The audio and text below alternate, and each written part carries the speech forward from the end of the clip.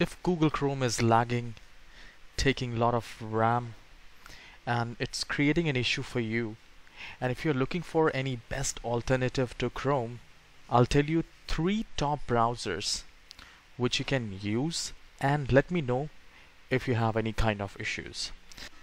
According to the lab test, Google Chrome was taking 1.8 gigabytes of RAM which was the highest resources usage. I'm sharing three top browsers which you can install on Windows 10, Mac, Windows 8, Windows 11 or any other computer. So the very first browser is Microsoft Edge. If you do not have Microsoft Edge in your computer, you can open any of the browser and open google.com.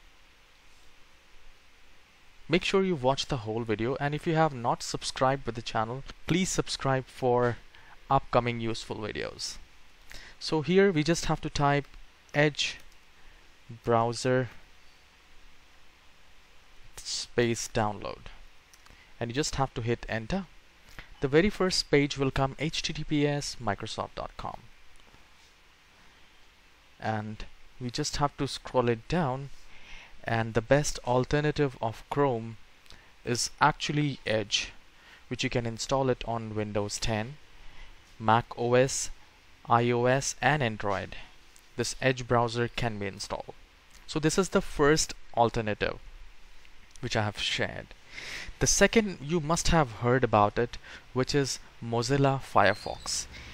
It has some great features in privacy so you can install Firefox and see how exactly the performance is. You can also let me know in the comment section if you have any suggestion or if you have any problems or issues. Let me know. I'll surely help you with that. The third and the top my recommended browser is actually the Brave browser. So you just have to type brave space browser and here you will find https brave.com it is fast light doesn't take too much resources. You just have to click on download at the right hand side and it will be downloaded on Windows 10, Windows 11, iOS, macOS or Android. So these are the applications these are the browsers which I have shared. If you have any other suggestion let me know in the comment section. I would love to reply on that. Have a wonderful day. Take care